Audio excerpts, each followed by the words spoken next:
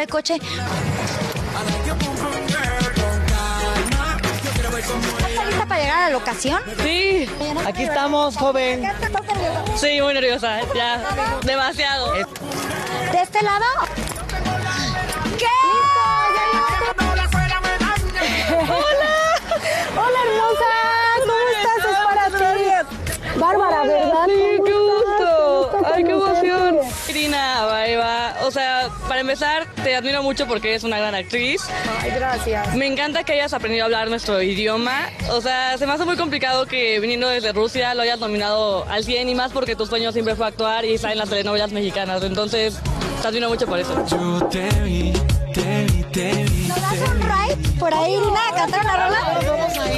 Vamos, vamos a dar una vuelta. Bárbara, súbase. ¿Tienes botellitas de agua, Irina? Híjole, ahí sí te fallo, Andrea. Irina, cuéntame, ¿eres una persona de reggaetón? Sí, reggaetón, sí. Estamos Cuéntanos. ahorita grabando una serie que me tiene muy, muy, muy entusiasmada, muy emocionada, que se llama El Último Dragón. Pero es una serie donde hay explosiones, hay balaceras. El otro día me enseñaron un video y yo dije, ¿cómo explotaron un coche de a de veras?